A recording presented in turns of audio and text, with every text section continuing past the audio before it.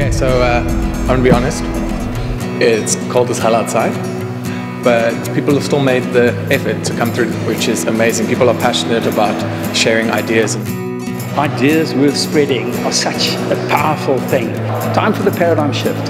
What is it I have to give as opposed to how much can I take? I really do hope that from what I spoke about, that people get that it can be a very small idea, but taken and put into action can actually change all sorts of things. People are here because they want to learn more and they want to listen what other people are saying. We, we in that space where we're coming together as people. I can take a message from what I've learned from so many others, from people, from animals, and to come and share this with fellow human beings. What a privilege. I think the thing that also is so amazing is that in each one of us there is a story, there is an innovative idea, and that people are desperate to get that because it resonates with their own story and gives them hope and optimism. It's like curated creative brain attendance. people kind of know. If I want a quick understanding of a subject in a way that I can grasp it, I'm going to go to watch a TED Talk or I'm going to go online to watch a TED Talk. In order for us to build more knowledge on top of each other, we need to all come together and just talk about really cool ideas.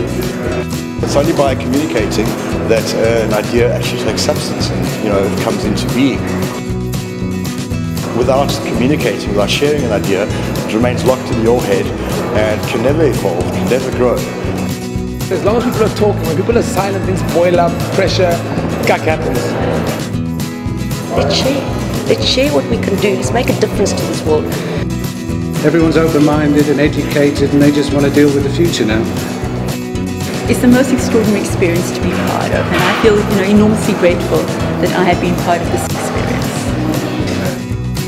It's been, a, it's been an honour and it's been a great learning curve. We've learned many things about ourselves and we never ever thought once that you could fit cannabis legalisation into 15 minutes.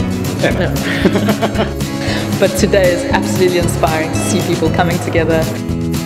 And I felt that the audience, in fact, was really wonderful this morning.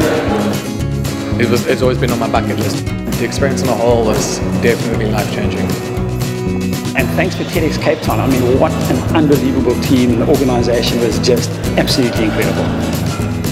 Thank you team, thank you partners, thank you speakers, and thank you audience. You have made today absolutely amazing, and I'm so proud to be part of this. Without you, it would never be possible. Thank you so much.